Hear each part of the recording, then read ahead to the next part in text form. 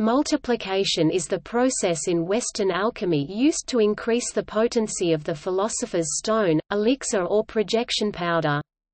It occurs near the end of the magnum opus in order to increase the gains in the subsequent projection.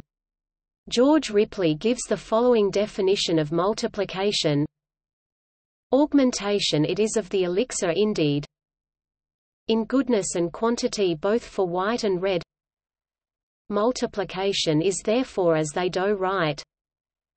That thing that doth augment medicines in each degree, in color, in odor, in virtue and also in quantity, multiplication was also used to describe the facet of alchemy chiefly concerned with the reproduction of physical gold and silver.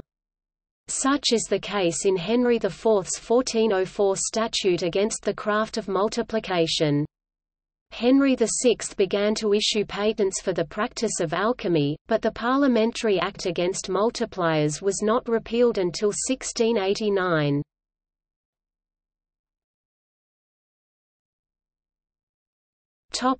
Method In his discussion of multiplication, Ripley goes on to compare the medicine or elixir to fire. He notes that the methods of multiplication are related to the processes of congelation, cibation, and fermentation. In doing so he also hints at multiplication's internal significance.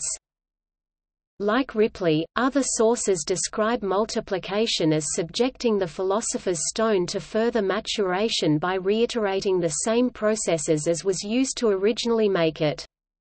Sendivogius writes, having made an end with the composition of the lapis, there remains its multiplication in infinitum which is effected by the same way and with the same operations the lapis was made, only that instead of dissolved gold or silver, you lay in only so much of the lapis as you laid in before of the said gold or silver for the first confection of the lapis.